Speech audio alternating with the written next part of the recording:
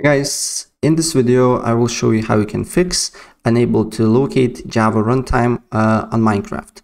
So the first thing what you need to do here, uh, we need to make sure that uh, Java on our operating system is fully updated. And to check it, uh, on search, you just need to write configure Java, right? It will be the first option here.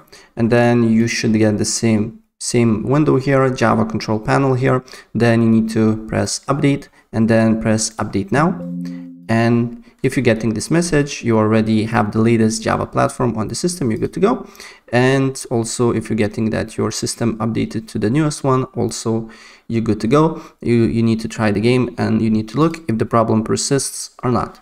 And still, if the problem per, uh, persists, another thing that we can do here, we need to go to on search, then on installed apps. Then we need to uh, on search apps, just write Minecraft. And then you need to look for Minecraft launcher. Then press on the burger menu here, uh, advanced options. Then scroll down until you see reset option here and press repair. Right? And then you can also press reset as well. And after that, you need to look if the problem persists or not. And still, if the problem persists, the last thing that we can do here is to delete Java arguments. And to do so, we need to go to installations here. Then you need to look for the latest release, then press on the burger menu here, and then press edit and then after you see this window here then select more options and then on the bottom you should see java arguments.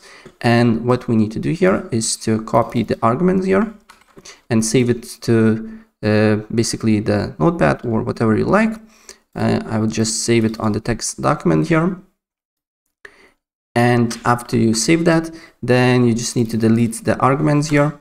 Uh, press save and then you need to run the game. And if, the problem is fixed you're good to go. But if it's not if you say if you're getting the same error then get back basically copy arguments here and uh, paste it again here. And the last thing that you can basically do here is to if the problem still persists is to reinstall uh, minecraft on your operating system and the problem should be fixed.